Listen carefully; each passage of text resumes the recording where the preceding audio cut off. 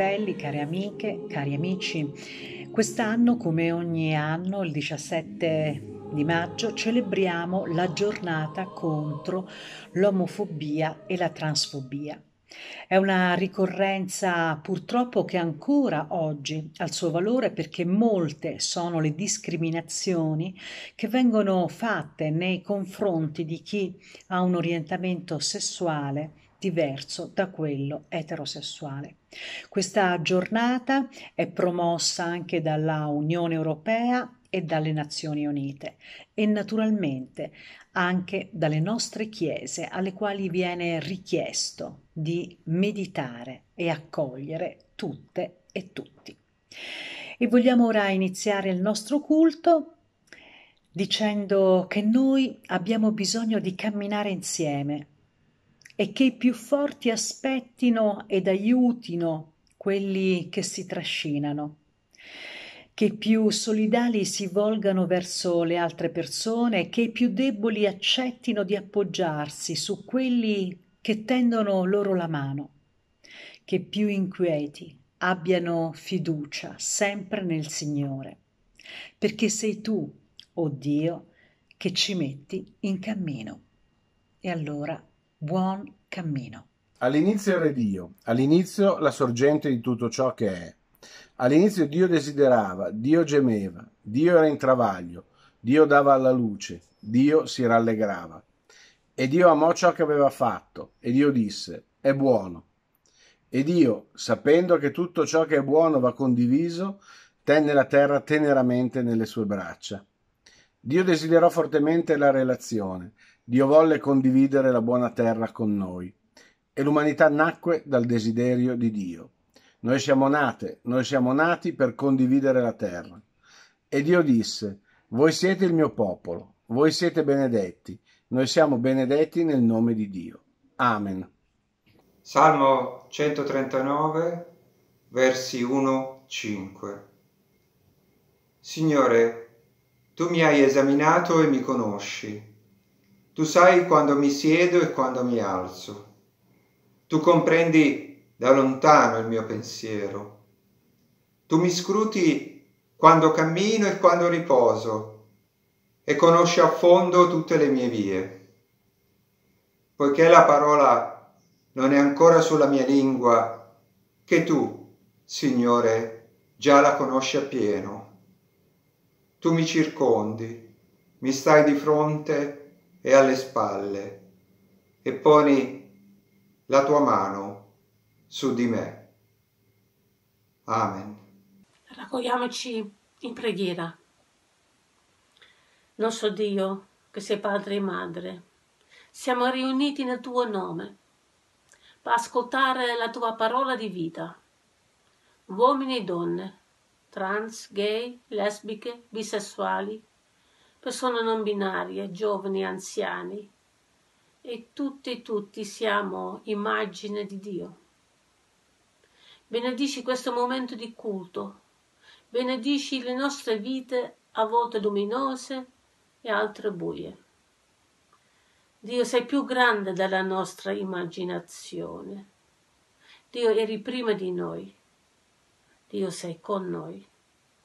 Dio cammini davanti a noi, sopra e al di là di tutti i confini e i muri di separazione che l'umanità ha costruito rimanici accanto, ora e sempre. In Gesù Cristo. Amen. Uniamo le nostre voci nel canto dell'inno 339. Veglia al mattino ancora che un cielo puro sembri annunciare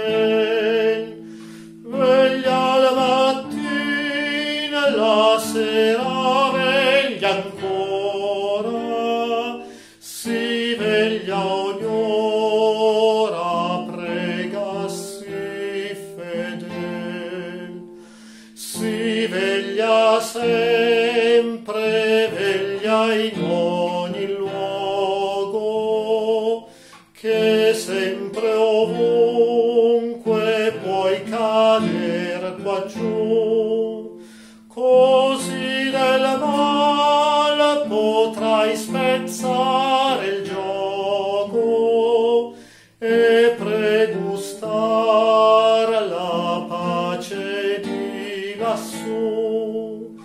Veglia la mattina, la sera veglia ancora, si veglia ogni ora, prega si fedel.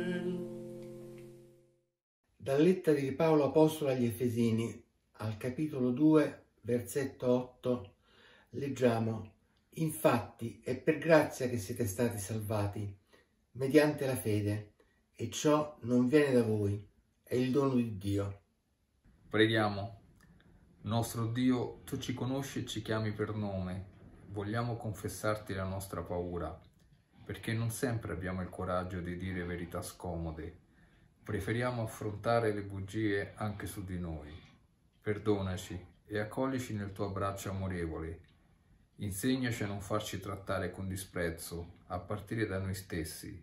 Sollevaci, rendici forti e ricordaci che siamo parte della tua creazione e che le nostre vite sono viste da te attraverso la tua grazia.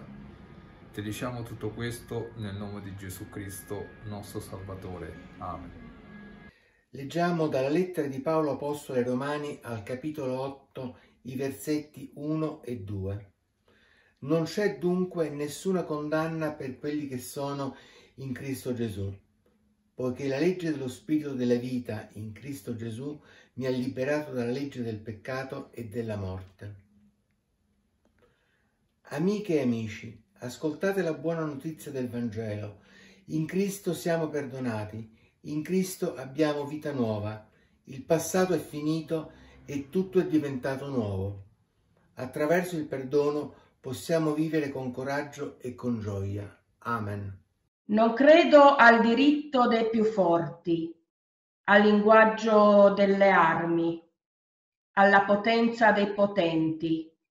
Credo nel diritto, nella mano aperta, nella solidarietà, nella potenza della non violenza. Non credo alla razza o alla ricchezza, ai privilegi legati al genere o all'orientamento.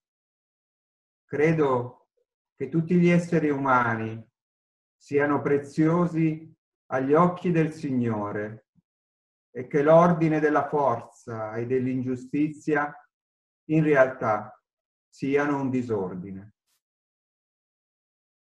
Non credo di potermi disinteressare a ciò che accade lontano da qui. Credo che il mondo intero è la mia casa e che ogni donna e ogni uomo siano mia sorella e mio fratello. Non credo di poter combattere altrove l'oppressione se tollero l'ingiustizia qui. Credo che la giustizia sia una, qui come altrove, e che non sono libera e libero finché un solo essere umano è schiavo. Non credo che la guerra e l'ingiustizia siano inevitabili e la pace irraggiungibile. Credo all'azione umile, all'amore a mani nude, alla pace sulla terra. Non credo al valore della sofferenza. Non credo che il sogno delle catene spezzate e della libertà siano solo un sogno. Credo invece sempre e nonostante tutto ad un'umanità nuova in Cristo. Credo al sogno di Dio stesso, un cielo nuovo, una terra nuova, dove abiterà la giustizia. Amen. Vi leggo dalla lettera ai Galati, al capitolo 3, i versetti 28 e 29. Non c'è né giudeo né greco, non c'è né schiavo né libero, non c'è neppure maschio e femmina. Tutti voi infatti siete uno in Cristo Gesù. E se siete di Cristo, siete quindi discendenza di Abramo, eredi secondo la promessa. Care sorelle e cari fratelli, dietro questo testo c'è una domanda davvero interessante. Dio attraverso Cristo salva tutte e tutti o salva soltanto alcune categorie di persone? Il Dio della grazia ama incondizionatamente oppure ama, certo, con generosità, ma solo alcune persone e poi quelle persone le ama un po' più degli altri. Per esempio, ama più gli uomini che le donne, ama più i ricchi che i poveri, ama più i bianchi che i neri, ama più gli eterosessuali che eh, le altre persone orientate in maniera diversa, ama più gli intellettuali di quelli che non hanno una formazione. E sono salvati più volentieri da Cristo i protestanti, gli ortodossi oppure i cattolici. Ma come mai è nata questa questione che Paolo tratta in questo capitolo della sua lettera? Andiamo un po' a vedere chi era Paolo, chi erano i Galati e quali avvenimenti hanno dato origine a questa questione. Paolo è stato un uomo come pochi, molto radicato nell'osservanza della legge e nel rispetto dell'ortodossia giudaica. È arrivato a sottoporre a inquisizione e a perseguitare i cristiani di quel Gesù che aveva messo in discussione il Tempio, la sua funzione e naturalmente anche il rispetto del sabato.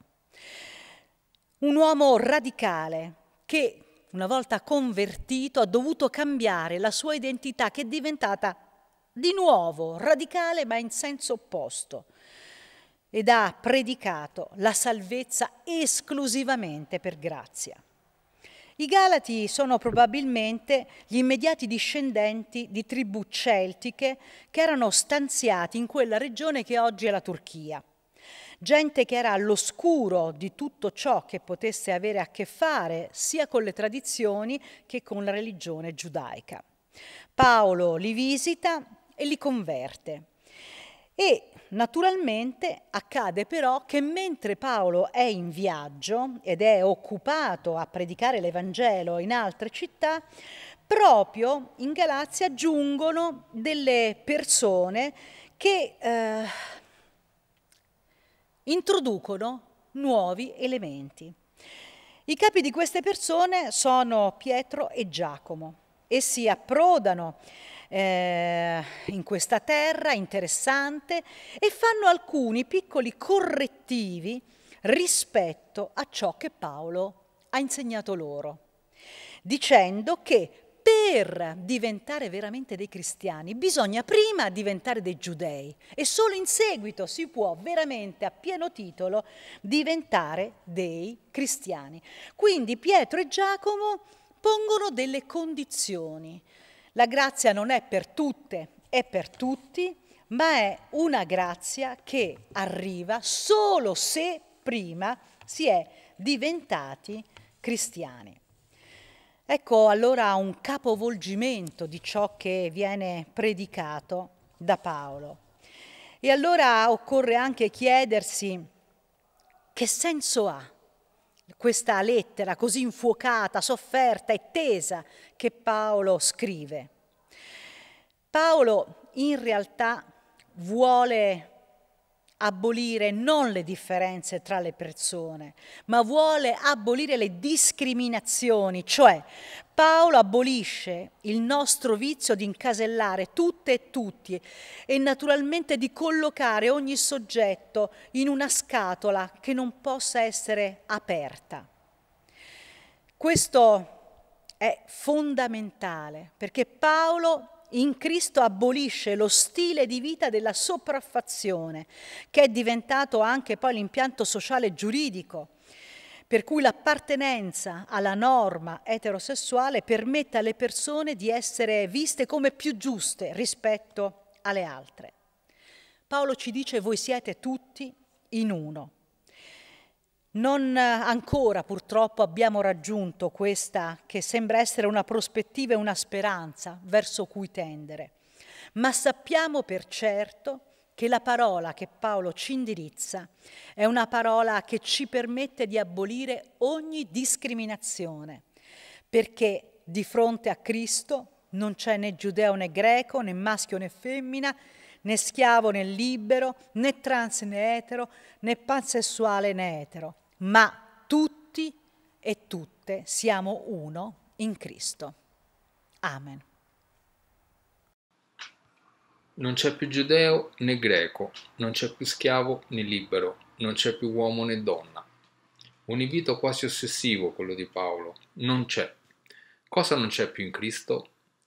Oggi viviamo un tempo di contraddizione a causa del Covid-19 in un mondo interconnesso non possiamo relazionarci mediante la nostra fisicità, non possiamo abbracciarci, baciarci, anche lo stesso parlare ha modalità diverse, come lo stare a pranzo o a cena con i cosiddetti congiunti.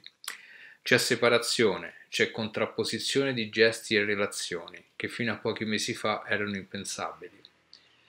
C'è una novità che ci porta, forse anche violentemente, a cambiarci. Oggi non c'è forse comunità? Comunità ecclesiale o sociale? Ci sono nuovi culti, le assemblee liturgiche, le comunità fisicamente come ieri? La nostra vita di persone, di società e di chiese vive, si struttura, muore o cresce in un dinamismo continuo tra il c'è e il non c'è. Questa dinamica tra c'è e non c'è crea nelle nostre relazioni situazioni di potere, di schiacciamento dei più deboli, di violenza e di morte nei casi più estremi. Ma Paolo dice tutto il contrario. Paolo disegna una comunità di fede e di vita. Possiamo quindi trasferirla a quella sociale, inclusiva, integrata, non violenta. Una comunità dove non trova spazio la discriminazione e l'oppressione. Cristo ci proietta in una nuova condizione, una condizione di pari dignità, dove l'inuguaglianza non trova cittadinanza, dove ogni persona trova cittadinanza con quello che è, volto e figlio di Dio contemporaneamente.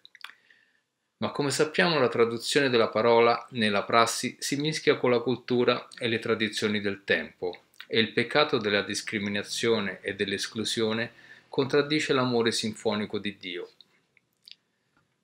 Leggere questo versetto è confessare continuamente al Padre il nostro peccato di sottomissione, di silenzio, di marginalizzazione, di discriminazione del fratello o della sorella e urlare c'è un uomo e donna, c'è lo schiavo e il libero, c'è l'amore etero e basta, il resto è male.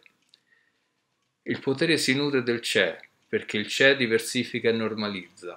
Il resto è sbagliato, è nemico, è male, è innaturale, è contro natura. Nella salvezza le differenze separatrici sono azzerate, le differenze come valore sono a servizio del bene comune, il regno non è l'azzeramento delle differenze, ma queste sono riconciliate in Cristo Gesù. Paolo ci obbliga all'inclusività, all'accoglienza, al superamento delle divisioni, ci impone la non violenza, perché le differenze riconciliate cancellano il potere e la violenza. Scegliere questo versetto per la giornata per il superamento dell'omotransfobia è educarci a vivere l'accoglienza non del diverso, ma del maschio e della femmina, riconosciuti fratelli e sorelle. È riconoscere l'altro non il suo c'è e non c'è, è lasciare gli slogan della contrapposizione per vedere l'altro come un altro da me, da rispettare e amare perché è uguale a me. Le fobie che si traducono in violenza sono la morte, la contraddizione del messaggio di tutta la parola. È il peccato che sottostà al versetto di Galati. Come superare l'omotransfobia? Non esiste una ricetta, se non quella dell'inclusività proposta da Paolo, ma quello è il traguardo. Alcuni ingredienti che potrebbero aiutare sono la visibilità delle nostre differenze nella normalità della persona umana, il dialogo, dialogo, dialogo, educarsi al sinfonico amore del Padre, rendere visibile l'amore sinfonico e costruire relazioni inclusive dove la dinamica c'è e non c'è viene sostituita dal tu sei, tu sei degno di amore e di amare.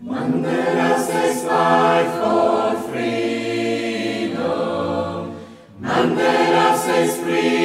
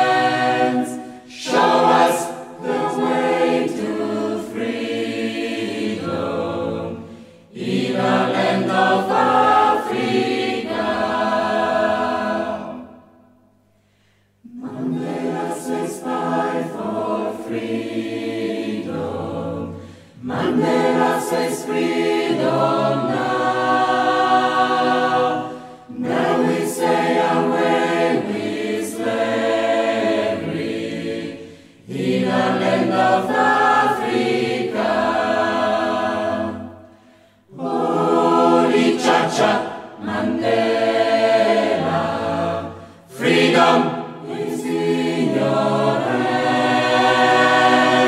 Show us the way to freedom in a land of Africa.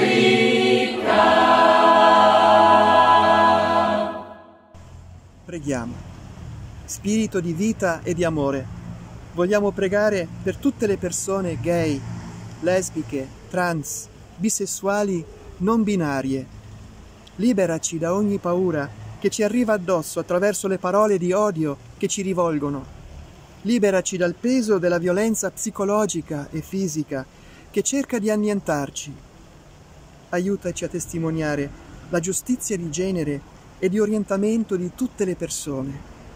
Preghiamo per tutte e tutti coloro che sostengono le nostre piccole e grandi conquiste. Dacci la forza di appoggiarci alla luce della tua parola, affinché possa guidarci verso la tua verità e la tua giustizia.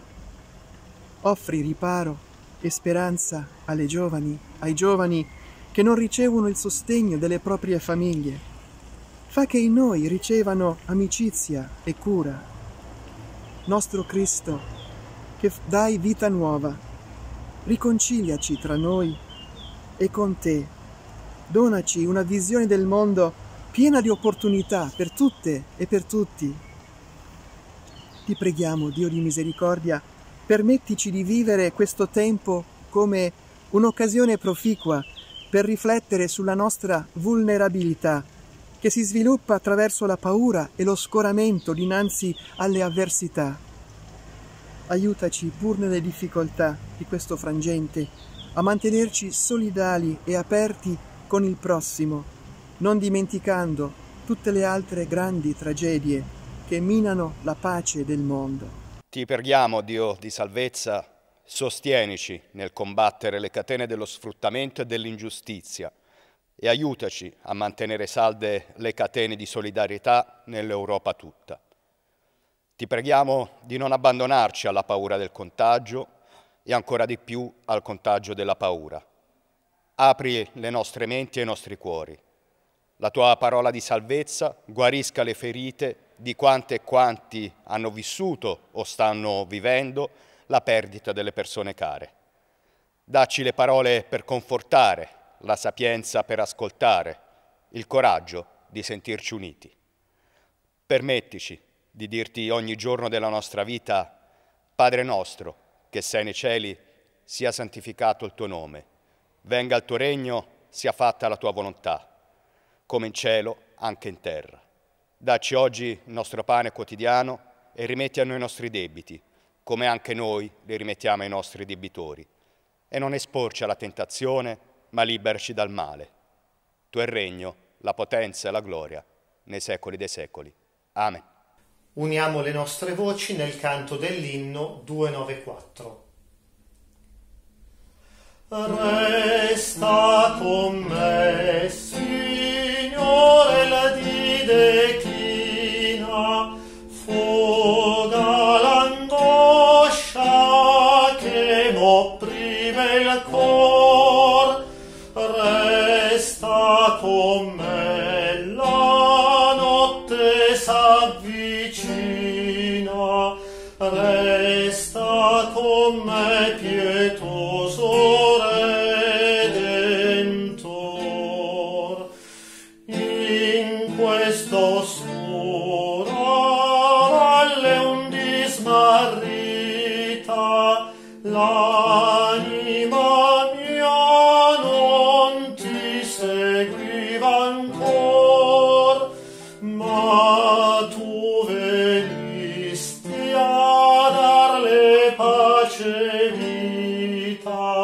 resta con me